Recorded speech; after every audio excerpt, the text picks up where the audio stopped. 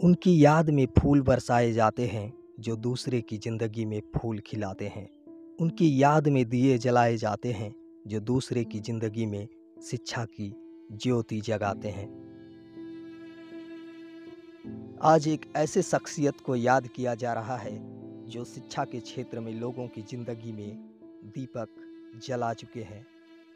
हम बात कर रहे हैं स्वर्गीय भैरवनाथ महतो की जो रांची जिला अंतर्गत सोनाहतू प्रखंड के लांदुबड़ी गाँव के रहने वाले थे।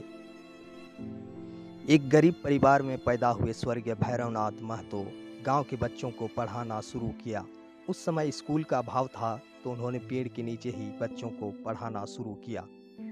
उनके पढ़ाए हुए बच्चे अच्छे पदों पर नौकरी कर चुके हैं। आज लांदुडी में हाई स्कूल बन चुका है। यहाँ प्लस टू तक की पढ़ाई होती है। पर स्वर्गीय भैरवनाथ महतो के योगदान को आज भी लोग भूलते नहीं हैं। हर साल हाई स्कूल लांदुबडी के मैदान में लोगों की भीड़ उमड़ती है और स्वर्गीय भैरवनाथ महतो को याद करते हैं।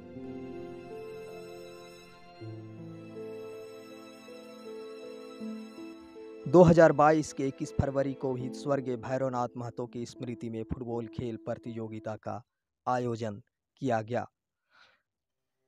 कार्यक्रम का उद्घाटन लांदुबी पंचायत के मुखिया श्री फणिभूषण सिंह मुंडा के द्वारा किया गया। साथ में हारिन पंचायत के मुखिया प्रतिनिधि श्री मनोज सिंह मुंडा भी मौजूद रहे।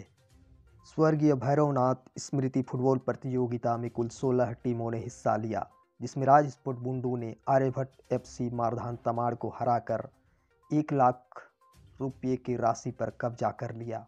कार्यक्रम के सफल आयोजन में लांदुपटी ग्राम के समस्त ग्रामीणों का अहम योगदान रहा।